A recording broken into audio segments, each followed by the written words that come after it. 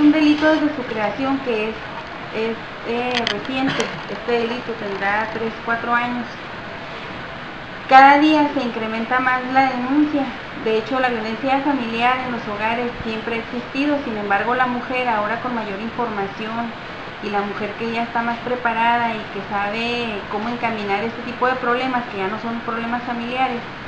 Entonces ellos ya, las, ya las mujeres que más comúnmente son pues violentadas, es el, es el sujeto pasivo en realidad en este delito, puede ser cualquier persona, puede ser un niño o también puede ser un- una persona del sexo masculino, sin embargo la mayor reincidencia se da en víctimas del sexo masculino, perdón, en víctimas del sexo femenino, entonces sí tenemos eh, muchas denuncias y hay muchas carpetas abiertas por este delito, en esta semana recibimos cuatro detenidos del fin de semana, ayer ingresó uno más, son cinco, y en realidad es un delito que siempre se mantiene a la alta, es es un delito muy recurrente y es un delito muy denunciado también.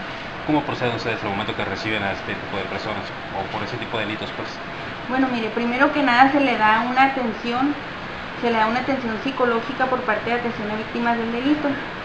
Este, eh, este departamento trabaja con víctimas en estado, en, en estado crítico.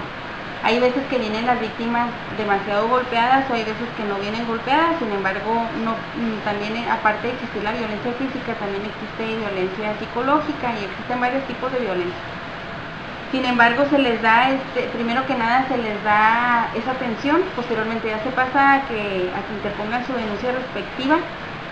Cuando se judicializa ante el juez de, garantías, normalmente en ese tipo de delitos es muy conveniente solicitar una salida alterna y se le, se le denomina suspensión del proceso a prueba.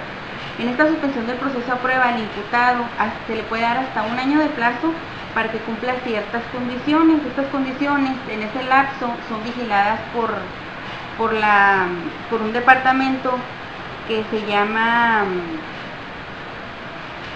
eh, medidas de seguridad y ellos son los que se encargan de vigilar que estas medidas sean cumplidas o estas condiciones.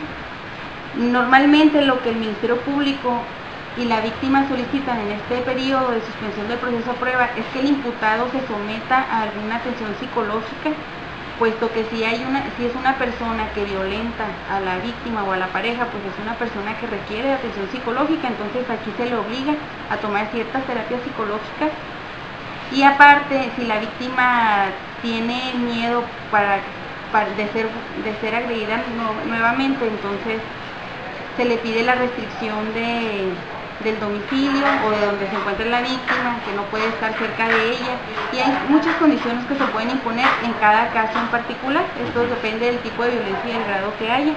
Ya después de este año, ya si la víctima quiere volver con la pareja, entonces ya vuelve con un imputado que ya, ya fue, mm, si pudiéramos decirlo así, rehabilitado psicológicamente, en donde ya esta persona pues ya será muy pocas las posibilidades de que vuelva a ser víctima de, de violencia familiar.